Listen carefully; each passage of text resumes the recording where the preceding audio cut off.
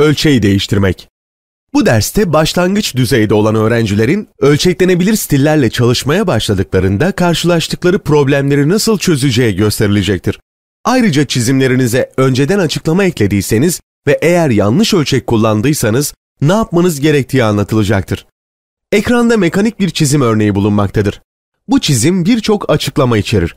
Bunların üzerine geldiğinizde bunların bir açıklama stili kullanılarak oluşturulduğunu göreceksiniz. Bütün açıklamalar birebir ölçeğinde bir açıklama kullanarak oluşturulmuştur.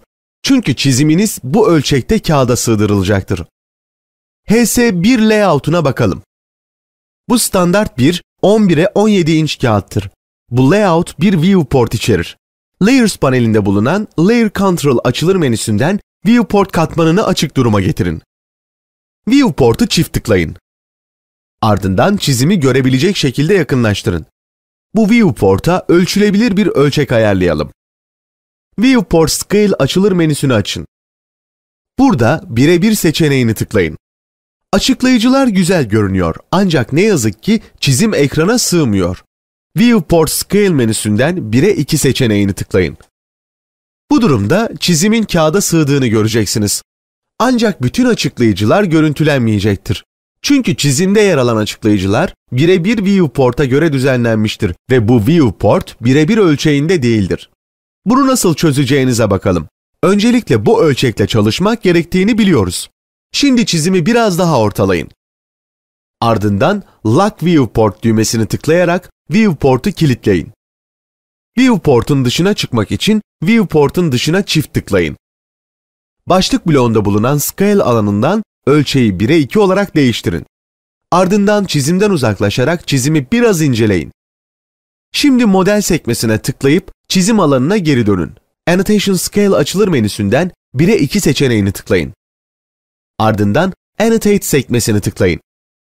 Annotation panelinden Delete Current Scale açılır menüsünü tıklayın. Bu menüden Add Current Scale yani geçerli ölçeği ekle seçeneğine tıklayın. Bu seçtiğiniz herhangi bir nesneye bir açıklama ölçeği eklemenizi sağlar. Çizimde bulunan tüm nesneleri seçin. Bunun için bir crossing window yani kesişen pencere oluşturun. Ardından farenin sağ tuşunu tıklayın. Şimdi açıklayıcılar viewport'un yarım ölçeği olacak şekilde boyutlandırılmıştır. Çizimi biraz yakınlaştırın.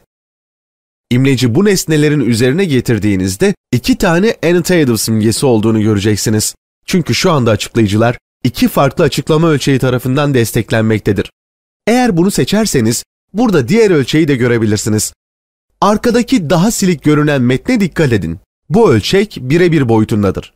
Bu kötü bir şey değildir ancak birebir ölçeğine bir daha ihtiyacınız olmayacaktır. Bu yüzden seçimi kaldırmak için boş bir alana tıklayın. Ardından çalışmayı uzaklaştırın ve gereksiz ölçeği kaldıralım.